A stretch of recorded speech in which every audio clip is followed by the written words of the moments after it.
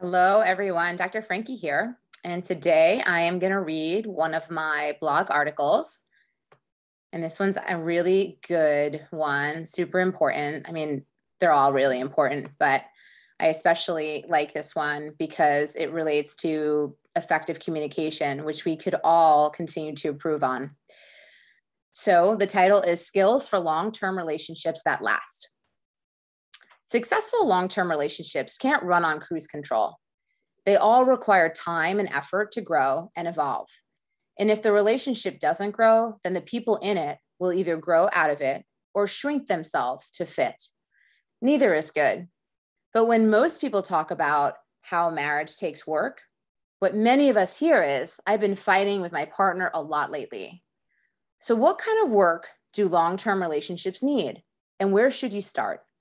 Below, I've collected a few lessons I've learned from over two decades of counseling couples.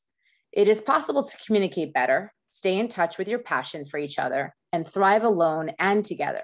And here's how be direct. Many women are socialized to not speak directly and to assume we won't be listened to or taken seriously. This means that we often open discussions about our thoughts with, I feel like, a deflecting phrase that softens whatever we actually want to say and makes it more challenging for others to disagree. I feel like is just a wishy washy way to say, I think. What would happen if you started to say what you thought directly? Construct useful I statements. Using I feel like isn't great, but talking about how you feel is good. Using I statements is a way to do so from the place of knowing that no one else can make you feel a certain way, rather than from a place of blaming someone else for your feelings. For instance, your partner leaves half drunk coffee cups all over the house, saying, I feel annoyed that you leave your half drunk coffee cups all over the house, creates a cause and effect between their actions and your feelings, doesn't give them a chance to respond, doesn't show why you feel annoyed really, and doesn't lead to a productive conversation. Instead, use this I statement template when wanting to express yourself. And it would go something like this I feel blank. And in that blank, you will use feeling words. About blank, you'll state the objective, your observation. And then because I blank.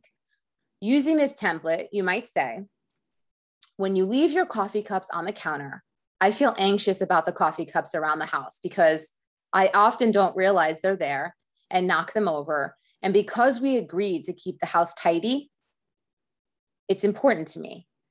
I appreciate that you work from home and you didn't put that coffee cup there on purpose. Can we come to a happy medium? Do you see the difference? In the template example, you take responsibility for your feelings, create space for negotiation, and allow your partner to respond instead of being attacked.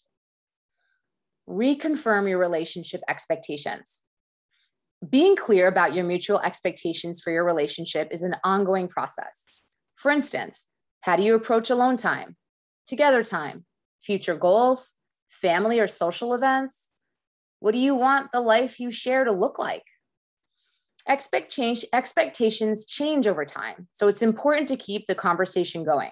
For instance, if you're approaching your first set of holidays together ever, you might decide together that it's important for you to each do your own thing. If you're approaching your first set of holidays together after getting married, you might feel differently. You also might not. It's important to talk about your expectations well in advance, to look at where you align and where you both have to compromise. Practice active listening. Connection and understanding require active listening. Start by putting your phone away, face down. Turn towards your partner. Lean in as they speak. Make eye contact. When appropriate, mirror to show you're listening and to make sure you're following by repeating what they just said. And don't interrupt. Joe Rosenblum, the co author of Five Secrets of Marriage from the Heart, suggests that making your partner feel understood may require sitting on your hands, meaning just listening rather than problem solving, interrupting, or talking for them. Give them the space to share without judgment or running commentary. Schedule time together. If you don't make time, you can never have time. Happy couples share interests or hobbies and enjoy connecting in a positive space. Early on in a relationship, couples, couples talk as friends. They do fun things. But over time, those ways of connecting change. Dr. Howard Markman stated in, in the book Fighting for Your Marriage. Keep your relationship fresh by continuing to connect with each other over shared activities that have a sense of excitement. Going for a walk, hike, or bike ride, attending a community event, or crossing something off your bucket list can all help to enliven a relationship strangled by stress. Schedule sexual time together. If you want sex to continue to be a part of your relationship over time, act like it. Talk about it, leave space for it, and put it on your calendar regularly. There's an idea that sex is supposed to be spontaneous and that something's wrong if it isn't. Spontaneous sex can be fun, but you can't be spontaneous if you don't give yourselves a chance. Scheduling sex, whether you use that time to mutually masturbate, have strap on sex for hours, or just shower together and go to bed early, is the best way to make sure you continue to have a sex life in a long term relationship. Don't forget to schedule some solo sex time too. Your sexual and erotic self exists as part of you, not as part of your relationship. Stop doing everything together. Always being with your partner blocks real connection with your partner, believe it or not. While love and desire relate, they also conflict. Love thrives in an atmosphere of reciprocity protection, and congruence. Desire is more selfish. In fact, at times, the very elements that nurture love, comfort, stability, safety, for example, can extinguish desire.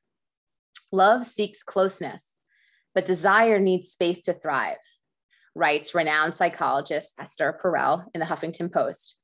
Finding the balance between them is one of the beautiful challenges of long term relationships, as Perel discusses in her classic making mating in captivity, unlocking erotic intelligence. Maintaining some emotional and physical distance from each other can inject a little mystery and curiosity, which help you stay close in the long run. That distance also creates room for personal growth, another key part of a successful long term relationship. Ask for what you want. If you want something, ask for it. Asking for what you want from your partner is the only way to get it. For instance, if you feel unappreciated and want your partner to show you that they care using one of your love languages, sit back and waiting will not work. You have to share how you're feeling and ask for what you want. Let's say you feel disconnected from your partner and quality time is your love language, but you're the one who makes plans. Rather than waiting endlessly and resentfully for your partner to surprise you with a night out, say, I'm feeling disconnected from you lately, and I'd like to spend some one on one time together. I've also noticed that when we have dates, I usually plan them. Can you please plan a date for us? If you make a request and weeks have gone by with no action, address the topic again in a direct manner. You might say, Hey, so I mentioned how I would love it if you would plan a date, and I was wondering if you've thought about it.